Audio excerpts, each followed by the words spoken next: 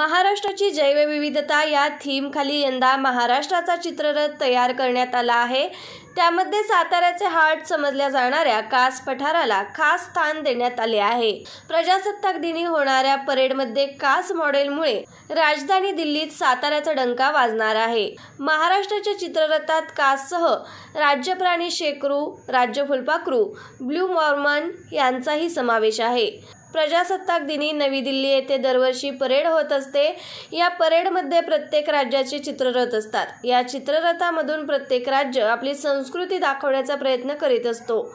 यंदा दिल्ली येथे होणाऱ्या परेडमध्ये राज्याची समृद्ध जैवविविधता दाखवणे या उद्देशाने महाराष्ट्राचा चित्ररथ तयार करण्यात आला आहे. नागपूर येथील एका ठेकेदाराने हा चित्ररथ तयार करण्याचे कंत्राट घेतले होते.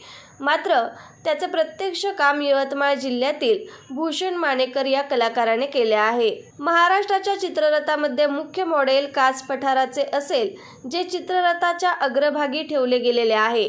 ट्रॉलीच्या पुढील बाजूस कास पठारावर आढळणाऱ्या सुपरबा या जंगली फुलांचे तसेच दुर्मिळ सरड्याचे तीन फूट उंच मॉडेल आहे. त्यामध्ये हरियालचे मॉडेल आहे.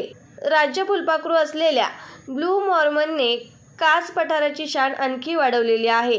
तसेच राज्यप्राणी शेकरूच्या मॉडेलचाही समावेश आहे. आंब्याच्या झाडांचे चौदा फूट उंच मॉडेल देखील या ठिकाणी आहे.